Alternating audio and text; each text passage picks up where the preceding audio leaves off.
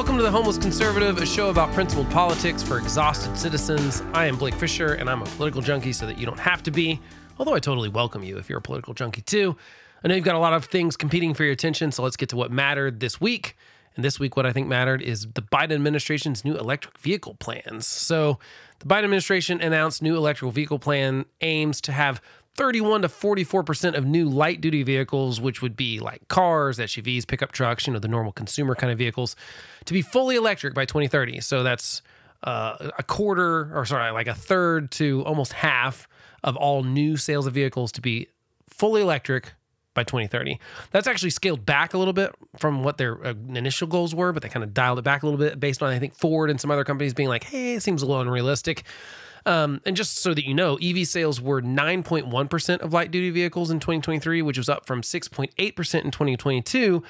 However, that percentage decreased from 22 to 23 because people are kind of jumping from electric vehicles to hybrids right now. But just some for, you know, the perspective of if EV sales were 9% of the sales in 2023, he wants to get to 31 to 44%. And this is all complicated math based on how many vehicles you sell and the miles per gallon of the other vehicles you sell. And um, that's a pretty big jump in just a few years. And we're, we're five or six years away from 2030. So, this is part of their broader effort to reduce greenhouse gas emissions and promote the adoption of clean energy technologies, of course. And I, my question is will it work? Is there that much of a consumer demand for electric vehicles right now? So 2023, like I said, saw that slowdown of EV purchases, and some car companies are pivoting to more manufacturing of those popular hybrid vehicles instead. And do we even have the infrastructure to support that many vehicles being fully electric?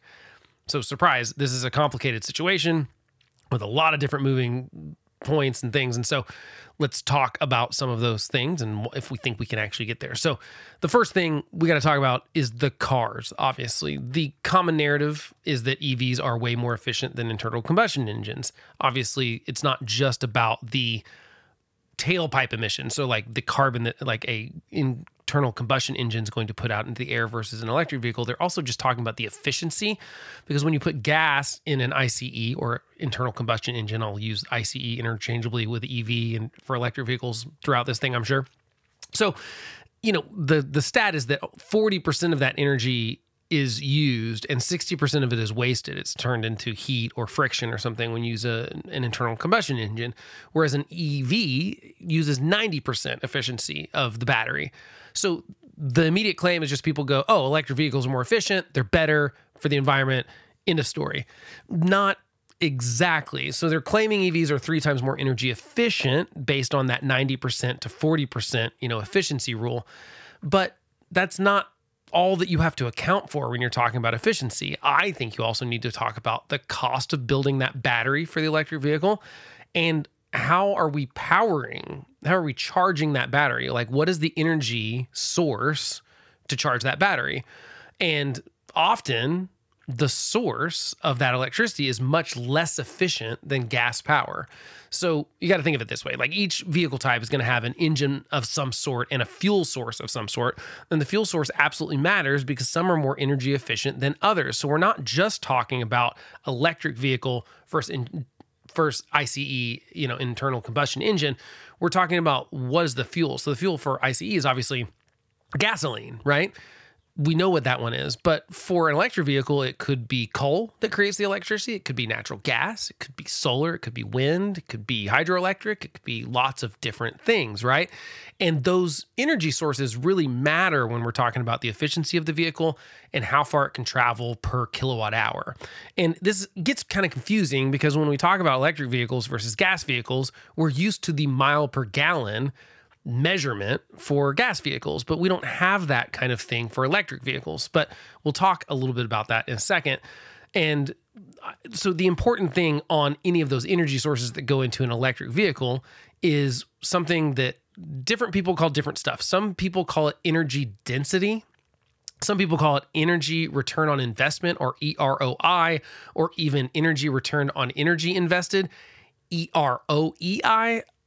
AEIOU. I mean, we're kind of uh, anyway. The the point is, there's different ways to talk about it, but the point, what they're talking about when they see when you hear energy density or EROI, is there every piece of energy takes some energy to make.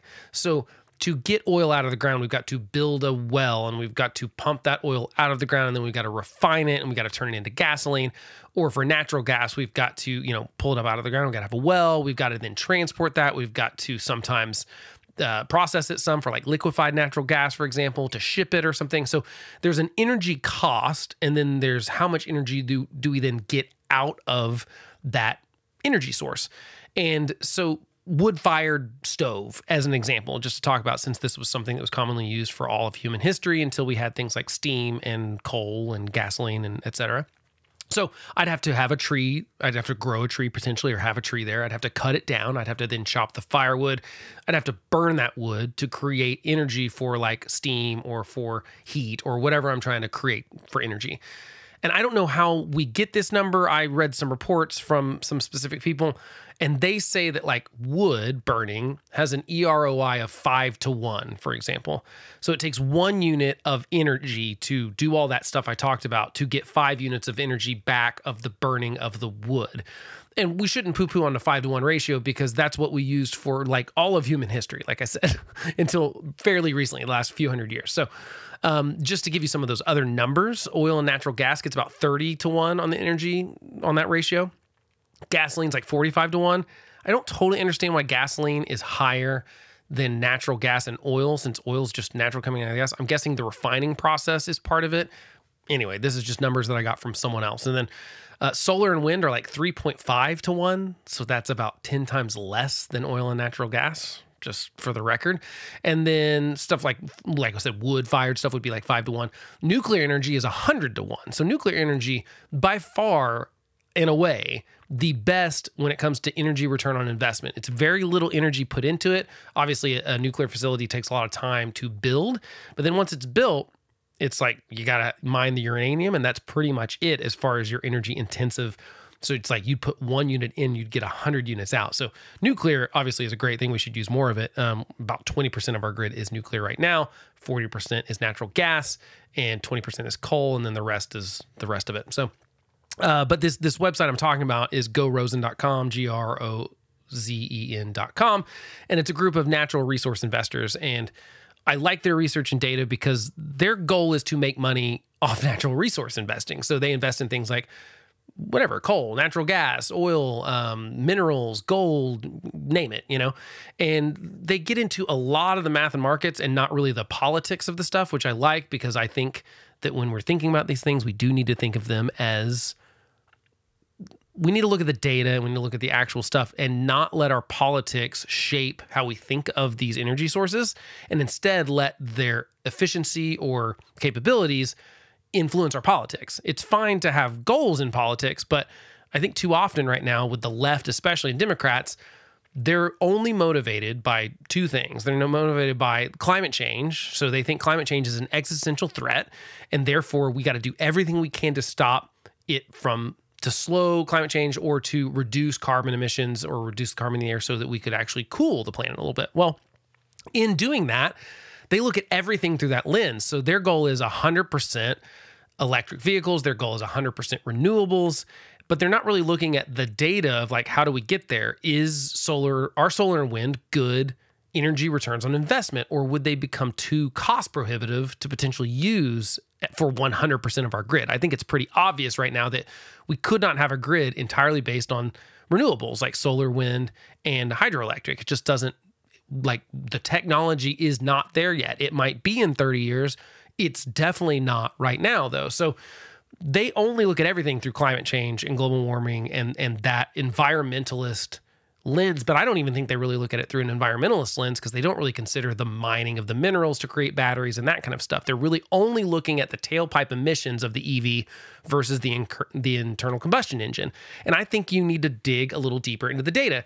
And this gorozen.com did specifically do that because the problem that they saw is that when we're talking about the difference between electric vehicles and internal combustion engines, we're not using the same measurements to talk about their efficiencies. So, with internal combustion engines, we're talking about miles per gallon. That's been the standard that we've been using in in America, at least, because we use miles, not kilometers. But in the EU and stuff, it would be kilometers. But uh, here, miles per gallon is kind of the thing, and the the, the EPA and several other administrations have done. Um, you know, a lot of forcing the car companies to increase those miles per gallon, the efficiency of their internal combustion engines. And while I think that that's okay ish, I do think we would have just gotten there with consumer demand because obviously, as a consumer of gasoline, I would prefer my car get a higher, you know, all things considered and all things being equal. If I could have the same car, so I mean, I've got three kids, I we have a minivan. If I can have a minivan that gets 45 miles per gallon versus one that gets 20 miles per gallon, I'm going to pick the one that gets 45 miles per gallon because gas is something I have to put in my tank every whatever, however, depending on the week, but sometimes multiple times a week, sometimes once a week, whatever. But like my fuel costs on a 40 mile per hour per gallon vehicle is going to be half as much as one with a 20 mile per gallon efficiency. And so I think consumers would have gotten to where we're at anyway. I mean, I remember being like one of the highlights of the 90 Corolla I bought when I was 16, it was nine years old at that point, was that it got like 35 miles a gallon. And at the time, gas was under a dollar. So I was filling up my tank for less than $5 or whatever. That was a huge upside for a like poor teenager, right? That had to work for that money. And, uh, and so, you know, I, I, think people would make these decisions anyway without the government forcing the car companies to. That's a totally different discussion. I guess we could have a different time. But either way, GoRozen.com decided miles per gallon and comparing that to then kilowatt hours for electric vehicles. We need to make the math be the same and we need to make the, the designation be the same so that we can actually compare these two things. And what they wanted to find out was are electric vehicles actually more efficient over the life of the vehicle than ICEs, internal combustion engines. And I don't want to get into all the math. I will put a link to the report in the description so that you can read it if you would like to read it. It's actually very interesting. But I'm not going to get into all the math here because it's a podcast. I don't expect you to be doing math in your head while you're driving or um, doing laundry or whatever you're doing while you're uh, spending your time with me. I assume you're not just sitting on the couch in the dark listening to my every word. Um, just that would be weird, right? Power to you, I guess, if you do. So they calculate it's actually not even close over the life of a vehicle and that internal combustion engines actually win out on efficiency um, because they did the math. So here's what the math is uh, the, the basic high level version of it. So they compared a 37 mile per gallon ICE vehicle to an electric vehicle and found that once they account for the energy to produce the batteries, because if you did not know this about electric vehicles, they have a gigantic battery in them. And right now, for the most part, those batteries are coming from China. China is actually mining the materials and the raw minerals, things like zinc and copper and all these things that take to make a battery, lithium. And then they're making the batteries and we're buying those batteries from them. So there's a huge, you're already, if you buy just like, let's say, buy a 37 per mile, mile per gallon car or an EV, you're actually like in debt as far as carbon emissions go on the electric vehicle more so than you are on the ICE vehicle because it takes a lot of energy to create that battery. Now, once you have the vehicle, it's more efficient, yes, in the sense that you are getting, uh, you've got a more efficient engine, and the power source, depending on the power source, is more efficient too, and it's not emitting carbon, right?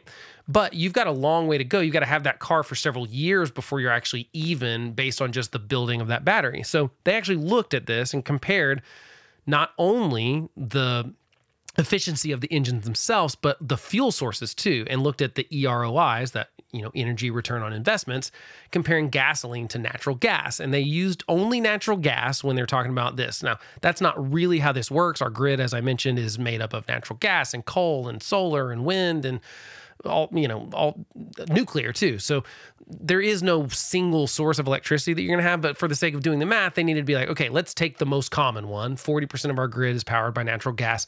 So we'll pretend and we'll do the math on these electric vehicles based on it being the electricity coming to it is generated via natural gas and what they found is that the internal combustion engine gets 41 miles per kilowatt hour of thermal energy because all of these things are just turning into thermal energy, right? Whether it's natural gas or gasoline or solar or wind or whatever, electricity or batteries or whatever. They decided we're going to use kilowatt hours and we're going to say, how far can you get on one kilowatt hour in each vehicle? And they determined the internal combustion engine 41 miles per kilowatt hour. The EV got 32 miles. So that's accounting for the creation of the battery, the mining of the materials, and the life of the vehicle too. The life of the vehicle is different because the life of a battery is like about 120,000 miles, whereas they're estimating the life of a internal combustion engine to be 170,000 miles. So there's that factor as well. And by the way, if they don't use natural gas, when they did the math on if the fuel wasn't solely natural gas, but it was some sort of green mix of wind and solar, it reduced it to 13 miles per kilowatt hour. So if you're using wind and solar to power your car, based on the energy return on investment numbers, you're getting 13 miles per kilowatt hour on the vehicle over the course of its life as opposed to 41 miles per kilowatt hour on the life of the internal combustion engine. Now, there are other factors when we're comparing the two things. There's maintenance costs, there's all sorts of things, but I'm not talking about the cost to consumers as much right now because that's not what the Biden's that's not what the Biden administration's goal is here or Democrats' goal. Their goal is to reduce carbon emissions. But this math proves that they're not doing so with electric vehicles. It's just not happening right now.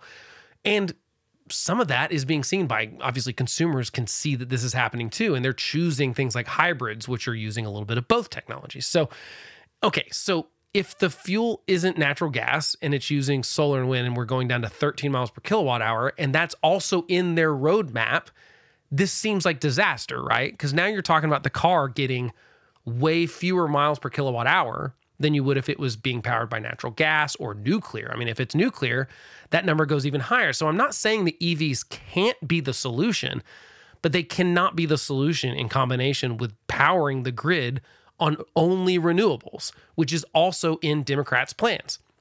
So I think they have two plans here they're trying to do. And when they combine the two of them, it's a disaster. If they didn't try to combine the two of them and said, you know what, we're going to go all in on nuclear instead, yeah, you can make EVs work but you can't make EVs work on the current grid. And you also can't do it based on their sort of utopian future grid that's fully renewable with wind and solar and hydropower. It's just not possible when you do the math. And government agencies know this too. There are government reports that show, and I'll put another link to, there are two great um, Kite and Key media. If you don't follow them on YouTube, you really should. They do these great informative, uh, informative videos about the bigger policy things that we're not really talking about. Uh, I really like their videos, but they have two videos specifically on the power grid and electric vehicles and and just kind of like some of the misconceptions that are going into that. But anyway, they've got a great video about these power supplies and and the differences between them and how we need a good mix of those energy sources and that we can't do it all with renewables. It's just not possible.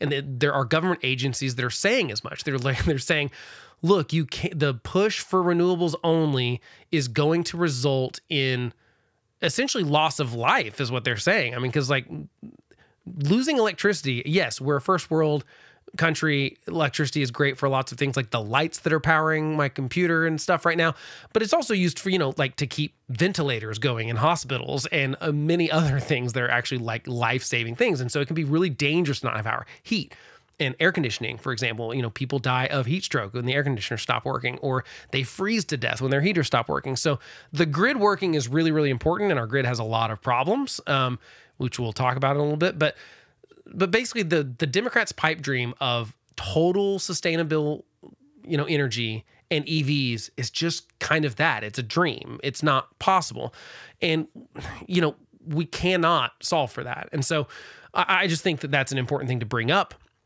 um, and also, essentially, their goal of using EVs as the future of limiting carbon emissions is a little foolish because right now we can only get those batteries from China essentially. So China's doing the mining of the minerals. China's creating these batteries. We're then buying them from China. And I think there's a geopolitical problem there too. I don't I think that's a little dangerous to be so reliant on a country that's our geopolitical enemy right now and, and has different goals for us or different goals than we do for the world and for themselves. And they'd like to see them become the superpower that controls the world instead of us. And uh, I think that's dangerous to deal with. But the really important part of that is that we cannot control China's energy production.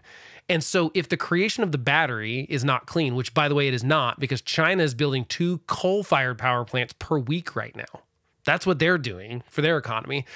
They're not all of their um, oh look at us we're going to help with global climate change too. They're not. They're just they're building fire coal fired coal fired power plants.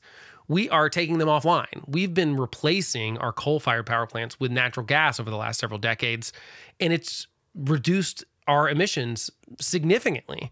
Um, not because we switched to renewables but we, we switched to a cleaner natural gas, right? And so these are the kind of things that we've got to be able to solve for, right? And and I don't understand why we can't um, talk more about them because no one's bringing that up a lot of times. Where they're not bringing up the fact that the batteries are a huge problem because there's a big China question mark there, and we've got to be able to consider that. For EVs to be the solution that Democrats claim they need to be, you've got to solve for every part of the process being clean energy too. And like I said, China's not doing that because they're using coal. And not to mention, there are other environmental factors than just the carbon emissions. There's the mining part of it as well. You know, that's actually a big part of an environmental concern. And I think we should look into that. We shouldn't just be like, batteries can solve everything. You've got to mine those materials. Uh, China is using slave labor to do so in, in some instances with the Uyghurs. I think we got to be careful about that. So we can't necessarily solve for that because it's not our country. We can't tell China what to do necessarily. I mean, we can negotiate things that we want them to do, but we can't tell them exactly what to do. But let's talk about the cars and why sometimes the EV is not the solution that Democrats think it's going to be. Because the first thing is that consumers are a little, they're kind of pumping the brakes. Bad metaphor, probably, but for electric vehicles. And I think they have some specific concerns that I've read is that one is charger accessibility. We don't have enough charging stations in the United States to we certainly don't have enough for this 30 to 40% that he's wanting in a, just a few years. We don't even really have enough right now. And that's a problem for consumers. They're like, well, I want to make sure I can charge this thing when I need to. The second thing is vehicle prices. They are currently generally luxury vehicles, is most of the electric vehicles. You see the most common two Tesla, Rivian. Those are luxury vehicles for the most part. I know Tesla has the Model 3, that's kind of their entry level one but it's still like, uh, you know, I think most people would say a, a, just like a normal sedan, like your Honda Civic kind of range, you know, in the twenty to thirty thousand dollar range, whereas the Tesla sedan is like the Model 3 is like thirty to forty thousand dollars. So it's a jump up. So you're talking about mostly wealthier people purchasing EVs and adopting them currently. And it's because they can afford it, not only because of the tax incentives, but just because of the price point in general. Okay. So there's vehicle prices, that's another consideration. And then the other one is vehicles' ability to handle long trips. Most EVs only have a range of at the top end, like two to 300 miles uh, on a charge. Most of them are less than that. I mean, some of them are like under 100. And so people want to be able to take a road trip in America. That's kind of a classic thing we like to do here. And so they want to be able to handle long trips. This is probably anecdotal. Most of the people I know, actually, I do not know a single person that only has electric vehicles. Everyone I know has an electric vehicle and a gas powered vehicle. And that way they can use whichever one fits their purpose at the time. So my brother would be a good example. Drives an F 350 diesel, not necessarily because he needs to, but it's actually my parents' truck. They use it to pull an RV. Uh, so that's his everyday driver. But his wife, my sister in law, has a Jeep 4xE, which has a fully electric engine if she wants to use it. it only has like about a 25 mile range or something, but that'll get her around the city. But it can also switch to gas. It's a hybrid. So you get that peace of mind where you can switch to gasoline, which there's gas stations everywhere. And so you don't have to worry about can I make it on a long trip? They can drive it using gas or hybrid or electric and they get to choose. And so like that worked really well for them. And that works well for a lot of people to be able to go like, "Oh, I like the hybrid technology. I get a lot more miles per gallon. I get some of the benefits of the electric engine without the hamperings of distance or charging stations and things like that." And uh, there's some other considerations for why 2023's electric vehicles uh, numbers kind of went down a little bit. They didn't go down, but they didn't increase at the level that they had over the past several years. One would be inflation. Obviously, inflation since 2020 has been a major factor for people purchasing things because the cost of everything has gone up, including the vehicles. Um, I had to pay even not for my normal uh, minivan, I think I paid like six thousand dollars over sticker because it was at the time where it's like we needed a car. They were like, we've got cars and we've got you by the you know what, uh, and so I had to pay it. You know, if I wanted a van, And then there's rising energy prices. Uh, if you haven't noticed, energy prices have also been increasing, and that makes the charging of those vehicles a little less. If you're doing the math on it, you go, ah, am I saving that much by going with an EV? Uh, also, some of the incentives that we had, those tax incentives, are starting to expire, and some of the people that can afford it are just going, ah, I'm not going to pick it if I'm not getting that seven thousand dollar tax incentive essentially. And then hybrids, like I said, are just really popular because they're the best of both worlds. You get the higher miles per gallon without those trade-offs of charging stations and distance and things like that. So one case study that Democrats bring up a lot is Norway because Norway had a really high level of a, of EV adoption. But because the government meddled in it and encouraged people to buy EVs by giving them a like $27,000 in tax breaks per vehicle compared to purchasing a large internal combustion engine vehicle.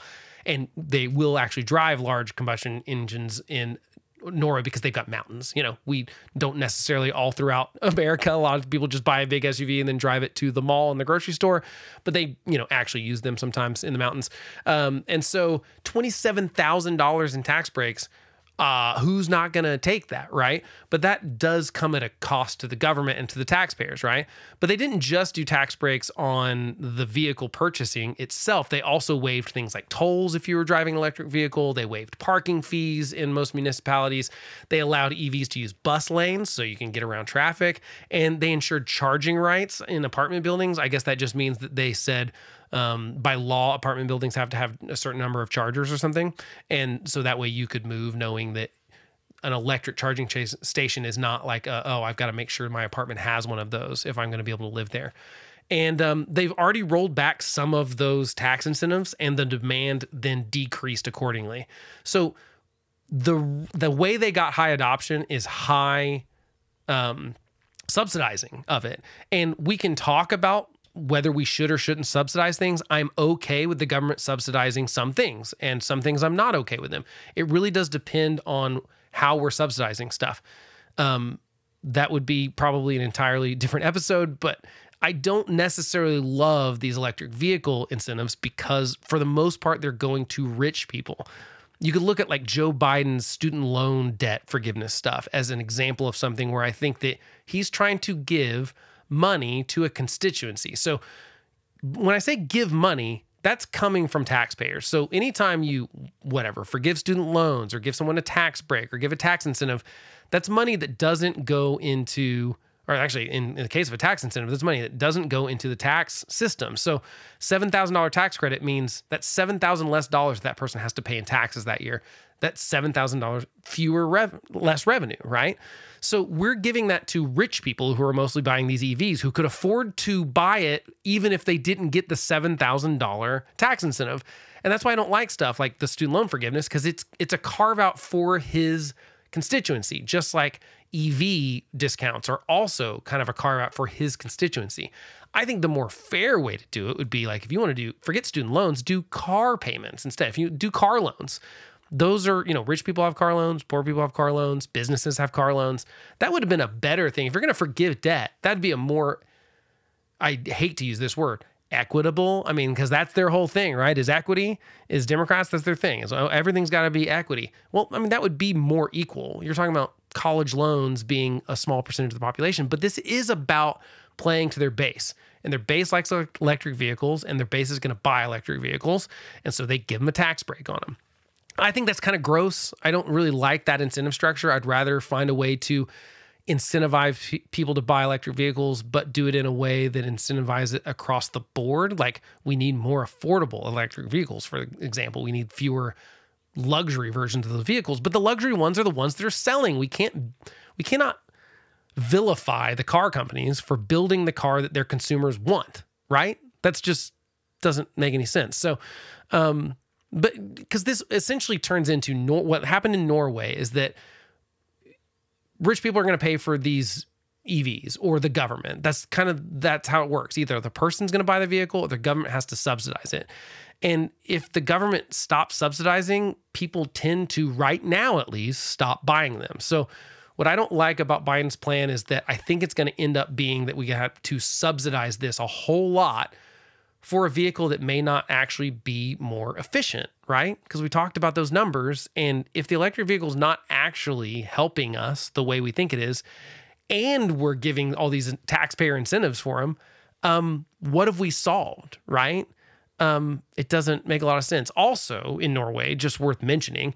So, from two, this is a direct quote from that report. So, from 2010 to 2022, Norway added 550,000 EVs, but the number of ICE vehicles on the road, rather than falling, also increased by 32,630 vehicles. While the population grew by 11%, the total number of passenger cars grew by 25%. When an EV household prefers to avoid a road or ferry toll, have access to free parking or charging, or avoid congestion by using bus lanes, they use their electric vehicle. When they visit their hike in the mountains, they use their ICE. The impact has been so material that advocates have lobbied for a government funded ICE scrappage program, another veiled EV subsidy.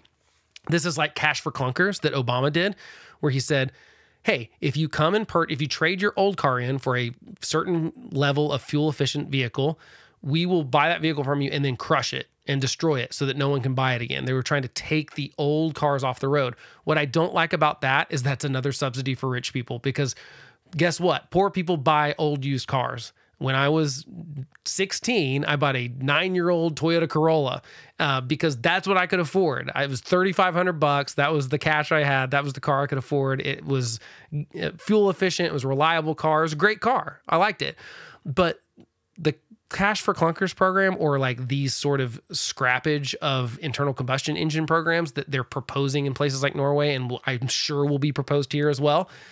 They take those cars off the road. So there are fewer affordable cars for poorer people. So I don't like that either. I think that that's has some weird economic um, problems that come along with it. So what you essentially ended up with in Norway is rich people bought the electric vehicles because of those massive subsidies and then they also kept their internal combustion engines because they had those same worries about the limitations that I listed earlier. So they didn't really solve the problem. Yes, they had a high adoption rate, but they did not decrease the number of internal combustion engines on the road.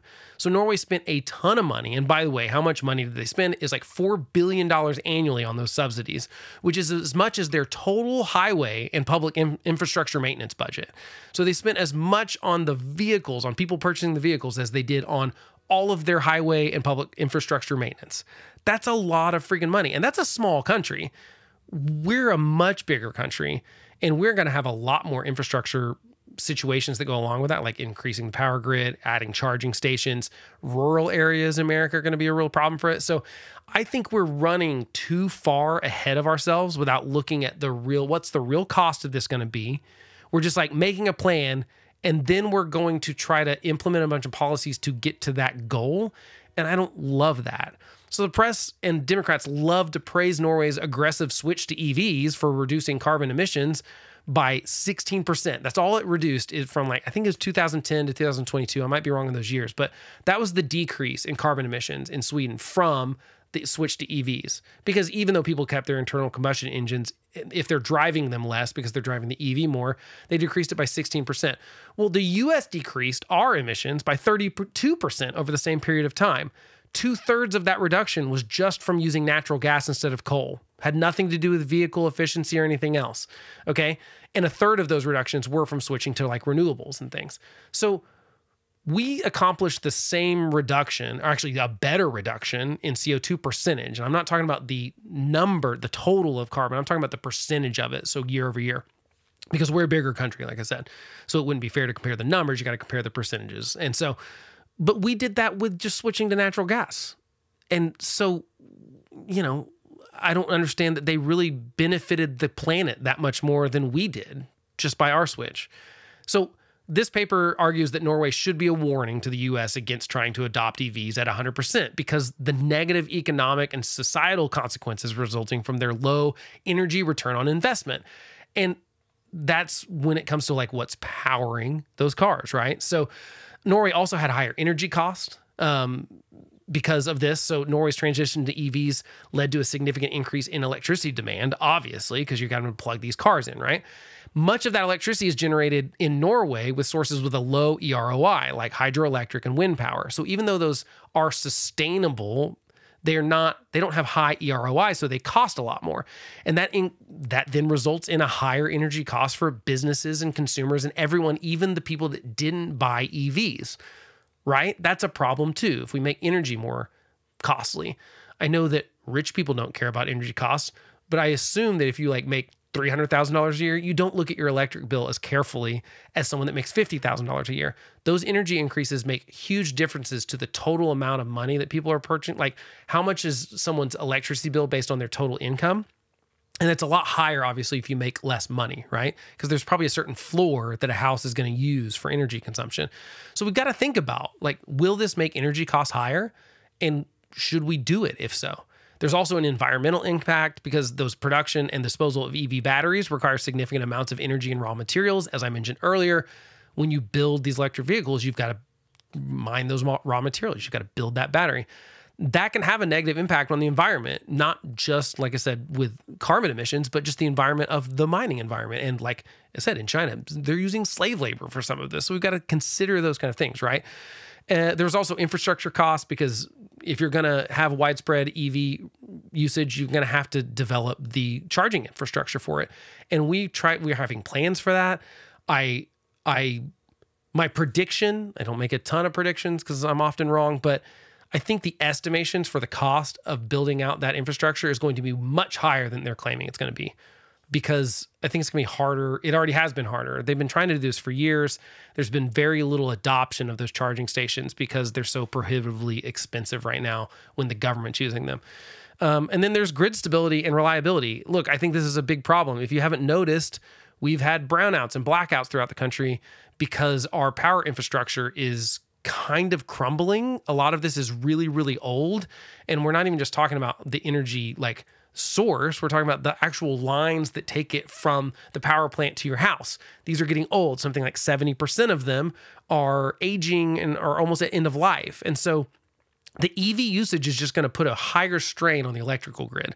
So I think we really have to fix the electrical grid before we try to like convert everyone to electric vehicles, or else we're going to have way bigger problems. Because um, you know, EVs are going to obviously increase the amount of electricity we use as we switch from using petroleum products like gasoline to using electricity. The electricity demand is going to go up. Uh, you might remember the headlines in California a couple years because they passed a law that said they wanted the whole state to convert to electric vehicles uh, by 2050. So they passed this law that said we're going to convert the whole thing. And I think that actually not even just that. I think it's that their whole grid's going to be renewables. And a week later, less than a week later, a headline where the governor was asking people to stop charging their electric vehicles during peak hours uh, because the grid couldn't keep up with it. So they're saying you have to buy an electric car. Uh, by the way, you can't charge your electric car. It was comical, right? It was like a right wing fever dream, right? It was like it was a perfect set of headlines, like you know the the thought and then the actual practical real life example of what might happen. Um, and, and to be fair, like I think our grid can get there. Uh, I looked at a Consumer Reports report that claimed that we can go full electric by 2050 on vehicles and we would have to increase our electricity production by 1% every year until then, and we'd be fine. But the problem with that math is that Biden wants us to adopt electric cars at a higher rate than that 1% power output per year. So if you really want to get to 40% of electric vehicle sales of, of sales being electric in 2030, that's just six, five, six years away. You're going to have to eh, significantly increase the power grid right now. You can't just do 1% a year. So Consumer Reports is correct, but they you can't just do it 1% every year. You're going to have to front load some of that. And that's without taking into account those old power lines and that infrastructure stuff that we've got to fix whether we increase capacity or not, right? We've got to fix that stuff no matter what, even if everything stays the same. So it's not just about producing more electricity. I'm confident we could do that, um, especially if we stopped vilifying natural gas and nuclear energy specifically. But that aging infrastructure is a big problem. Our substations, our power lines, all that stuff is aging. And so that's why we're having more blackouts. We had more blackouts in the last 20 years than the 20 years prior to that. That doesn't make a lot of sense to me technologically. We should be having fewer blackouts than we did in 2000 in 2020, right? That just doesn't make any sense. Some of it's extreme weather events, some of it's just supply and demand, uh, some of it's just aging infrastructure, but we've got to fix that problem before we can say we can go all electric on these vehicles. And I just don't think we're paying enough attention to that grid part of it. So, what is the solution then? I'm here complaining about all this stuff. I think the better solution and I know there's this caricature of conservatives that we hate the environment or we don't believe the science, but what I'm presenting right now is data, which is science. Okay. Science is data. And this data says that electric vehicles require more energy input per mile per mile than ICEs, right? And I do think EVs could be a way to zero emissions. I like electric vehicles. Like I said, my brother has that Jeep. It's awesome. We took it out to Palo Duro Canyon and I took my, you know, gas guzzling Jeep that's a 2010 Wrangler. And it was really fun to drive his out on the trail because it's totally quiet. Like the electric vehicle out in nature is really cool and fun. And I liked it. And I would buy an electric vehicle myself if it made financial sense. But uh, we could get to zero emissions with them, but there's a really specific condition with it. It the grid has to be powered by something with a really high EROI. It can't be 3.5 to 1 like solar and wind is. I understand that the technology is going to improve with solar and wind. I get that. I'm not saying it's statically going to be three and a half to one EROI for the next 30 years, but we have energy sources right now, like nuclear, that have a 100 to one EROI. Why would we not go all in on using natural gas, nuclear, and it's going to be a mix. It's never, I'm not saying we get rid of solar and we get rid of wind. I'm saying we need all of these things. I think Democrats are insane to think that we can power our entire electric grid by solar and wind alone. It's not possible. And hydro, I guess we'll include that in there. Um, it's weird to me that Democrats don't mention nuclear. You know, the we had the Green New Deal by AOC and the kind of progressive side of the of the Democratic Party, and nowhere in that proposal did it mention nuclear energy. I'm sorry, I do not take you seriously, and I do not take your warnings that climate change is this existential threat if you won't consider using nuclear energy to power the grid and those electric vehicles. Um, I'm for zero emissions eventually in America. I think that we can do that because we're rich enough to do it, but we shouldn't force the rest of the world to be expected to develop their countries and their economies, you know, these upcoming these up and coming economies, we shouldn't expect them to do the same things as as we are right now when we are fully developed in a first world country. We're expecting, okay, well, we used coal and steam and all this kind of stuff to get where we are, but we don't want other people to. I think it's gross and economically wrong to keep people poor so that they have cleaner energy. I get the thought process there. If you think that climate change is going to be an existential threat to the planet and to human beings on it, you'd go, it's worth economic problems to save your life, but they can't prove that there's going to be a catastrophe at the end of this. I think that the data shows there's not a catastrophe. Um, I've seen the, I, I, I wish I had the numbers of this right now, but someone did the math on if you imposed all of these economic kind of crushing things like trying to make a third world country only use renewable energy source energy sources instead of coal the economic impact of that is way worse and worse for poverty which is worse for life expe- expectancy and worse for mortality and all these kind of things um, than the worst case scenarios of two degrees of celsius rise in temperature by 2100 it's not worth the trade-off to me. I'd rather humans flourish. And i'm not saying the world i just don't think the world's going to end. Yes i think we're going to have some problems with climate change. I think that most of them can be mitigated with technology, though, which we see improve all the time. Natural gas is a great example. The, the way we learned to frack and get that stuff out of the ground with horizontal wells drastically decreased the cost of getting it out of the ground, which made it have a really high EROI, which made it a really good source because it burns a lot cleaner than coal does. And so we reduced our emissions in the United States mostly by switching to natural gas. And that's the kind of technological change that I think is going to make this stuff work. So I'm fine with electric vehicles, fine with it. But I'm not okay with pretending that electric vehicles solve the problem if you don't combine it with something like nuclear energy. That's that's all I'm saying. And and that's really what we have to we have to we've got to look at. And so to me, the only fuel source that can achieve that right now is nuclear energy. So I would like to see more talk about nuclear energy. And we have seen more of it over the last few years. You've seen some people come around to it, even on the left.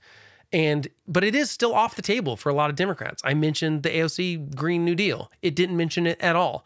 To me, that proves they're the ones who are unserious about climate change, not people on the right. Because if this is really the sort of existential threat that they say it is, why wouldn't we throw everything we have at nuclear energy? It's safe, it's safer than all the other energy sources as far as like actually getting it produced. Um, I think since the dawn of nuclear, there's been fewer than 200 deaths from the accidents and the building of the uh, nuclear facilities and stuff.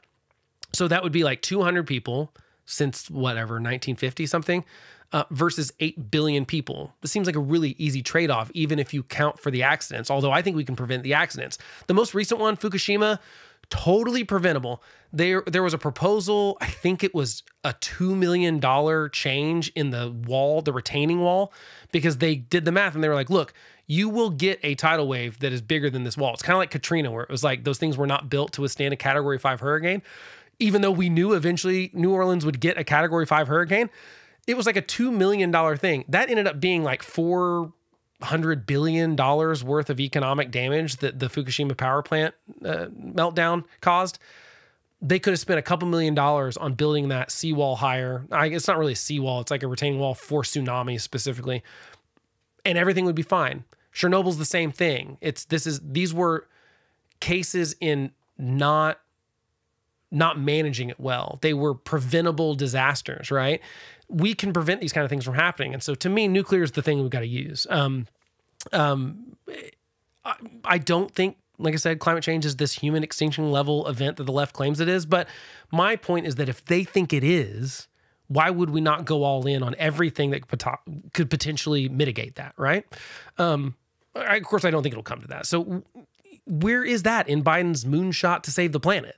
He just, I don't think we talk about it enough. I don't think we talk enough about I don't think we give natural gas enough credit. You will not hear Biden go out there and say that, like, hey, look, we reduced our emissions significantly by switching to natural gas. That's a good thing.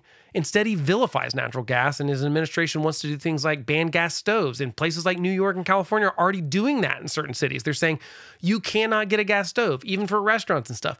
I think that's crazy. I, you know, I hate the gas stove banning kind of thing. Um, if you've paid any attention to me, it's one of my bugaboos. But um, you know, I think most people just believe them. I, I think the people peddling it probably believe that they're doing actual good. I don't like to assume ill intent like they do for us all the time. I feel like the left often comes and says, you know, the right doesn't care about the planet, as if half this country just doesn't care about the planet we live on. If we really believed, as if we really believe that the world's going to end, but we just don't care. I don't think that's it. First of all, we don't believe, I mean, I don't believe that the world's going to end based on climate change. I've not seen the data. Even the IPCC doesn't believe that. That's a thing that the media and politicians have ran with because they get to, keep in mind, let's go back to how this works. The government gives discounts to rich people to buy electric vehicles. Uh, the people that run those electric vehicle companies, for the most part, are kind of elitish too. Uh, so they're making money, they're happy about it. Um, the, all these people buying, for the most part, not all of them, but a lot of the people buying electric vehicles and the people benefiting from the sales of those electric vehicles based on taxpayer incentives are are in the Democratic base. So this is buying votes, is what it really boils down to, I think. Now, I'm not saying that's their intention. I shouldn't assume that's their intention, but it certainly is a it's a perk. They get to claim they're saving the world. That's what their constituency wants. They get to, you know, pat themselves on the back because they bought an electric vehicle and therefore they're superior to you. Um, but I, I just don't think we're talking enough about the data. And I think if we knew more about, like I said, I don't think that if you purchase an electric vehicle, you're actually doing much more for the environment right now than if you purchased an internal combustion engine because of all that work that goes into creating the battery and the power sources that go into it. And I, you know, we're just not there yet. And I know we could be there in the future. Not saying we won't be, but right now it seems like a racket. Like I said, those green sectors get rich. Uh, you get a $7,000 credit for your new car that you didn't really need that $7,000 credit because you're buying a Rivian or a $130,000 Tesla X. Um, you know, I just don't think we should have these subsidies right now unless they are more across the board, across classes. Seems more fair to me. Uh, Ford is selling electric cars at a discount to rich people who can afford the price tag. And then we get to foot the bill as the US taxpayers, even whether we want an electric vehicle or not. And that is currently how the electric car market works. Okay. I don't, and we've seen that as those subsidies go away, people are buying fewer electric vehicles I, I just think that this is a bad way to do it. And so, how do we fix that? I don't know. I mean, I, I don't think it's fair to assume that either side has bad intentions. I don't think the Democrats, I think they really think they're trying to save the planet. And I think people on the right think that no, this math doesn't add up. I think that they're the assuming of ill intent on both sides is wrong on this issue for sure. Like I said, I do think the Democrats are absolutely politically motivated to do some of this stuff because it is what their voters want. Climate change and environmentalism has kind of become a religion on the left. It's kind of replaced religion. Think about it. It's kind of religion. You know, the world's going to end if we don't do something. Um, you you look at like it's the badge of honor. It's like the EV or riding the bike or whatever the situation is there's like all these sort of things that go along with it. It's like a religion now, and that's kind of weird. I think Biden and Democrats should be more honest about what's going on and what it's going to take to get to zero emissions. Whether that's moving to more natural gas, whether that's moving to more nuclear, whether that's admitting that solar and wind and hydroelectric cannot power the United States exclusively, it cannot do it. We cannot do it with renewables exclusively. Our power grid needs a lot of work to be able to do any of this stuff. If we want to get to 40% of the sales, we're going to have to do a lot of work to the grid in the next six years. And um, I think we've got to talk more about nuclear. I think both sides need to talk more about nuclear. We got to get rid of some of the new the red tape that it takes to put a nuclear facility online.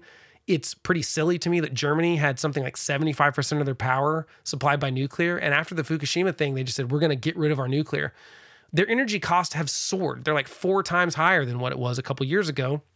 And honestly, without like us being able to export liquefied natural gas to Europe uh, because of the Russia sanctions and what's going on in Ukraine, there'd be people freezing to death in Europe. They're lucky they didn't have the freeze they had the last year, um, or it could have been worse. And so, I think it's foolish to to get rid of power sources before the new ones have the technology to and the like the efficiency to replace them. I just I think that's foolish and I think it's foolish to try to like pin these electric vehicle sales at a certain percentage and hold vehicle manufacturers to those numbers if the consumers don't want those vehicles. They want hybrids right now. Why don't we take that as a win? Like I said, if you've got a 40 mile per hour for a 40 mile per gallon vehicle versus a 20 mile per, per gallon vehicle, most consumers are going to go, I'll take the 41, all things equal, because that's going to save me half the gas money I have to spend. So I think we should look more at, at hybrids right now. I think that that's going to be the future for the next several years. I think that we'll get more and more efficiency. And maybe we circle back to this in 10 years or something. I, I think that we are jumping way too far ahead in this. I think the Biden administration knew that. That's why they dialed back their original stuff. I think originally they wanted it to be 50% of vehicle sales in 2030 would be electric, and they pulled that back to 33 to 41%. So they already dialed it back some. I think they need to dial it back even more because I think consumers are just not there yet. And the president and the technocrats and Congress as much as they've ever tried to control the economy. And look, the right is bad about this too now. Both sides are trying to pretend that like well if we just had the right people in there pulling the right strings we can make this whole thing work. That's not how this economy works. The economy is complicated and the best way to let it work is let consumers tell you how it should work. So if consumers start demanding electric vehicles guess what? The car companies are going to start creating electric vehicles for them to buy. That's how it's going to work yes, we can do some incentives, but so far the incentives have only really benefited rich people. And I don't like that necessarily. I think that if you're going to have incentives for a change, it should try to be across the board. Obviously, any, to, any new technology is going to be adopted by rich people first. In the 1950s or whenever it was, only rich people had microwaves. Now everyone has microwaves or refrigerators or electricity for that matter. I mean, uh, I think in the early, I think in like 1930s, still, you know, 60% of the country in rural areas didn't have electricity or something. So it's always going to be an adoption of urban and richer people adopting new technologies first. That's okay. I just don't like incentivizing the rich people to buy the stuff first. Um, to me, that part doesn't need to happen when they've got the money anyway. So I don't love this plan. I, I wish we had some more details. I wish we had some more thought into nuclear, but I'm not the president. Uh, and Biden is. So he gets to make these kind of calls. Uh, I, I think we got to talk more about it. And we got to talk more about these kind of things like are electric vehicles actually worth, is the juice worth the squeeze? And I'm not sure that they are yet. They might be in the future. They're not quite there yet. They're very cool. I like them. I just don't. And if you want to buy one, that's totally fine. I have no problem with electric vehicles. I like them a lot. But I don't think we should be subsidizing. I don't think we should try to hit these specific goals in specific timeframes. So that's it for me. Thanks for joining me on today's episode of The Homeless Conservative. Your time's valuable, like I said, and I'm grateful you chose to spend some of it here. If you liked what you heard, please consider rating the podcast on Apple Podcast or Spotify or share it with a friend. That's really the thing that helps me a ton. This conversation does not have to be one sided either. I am keen to hear from you. So feel free to reach out on Instagram and YouTube at The Homeless Conservative or send me an email at blake at thehomelessconservative.com. Your input really does mean a lot. I'll talk to you next time.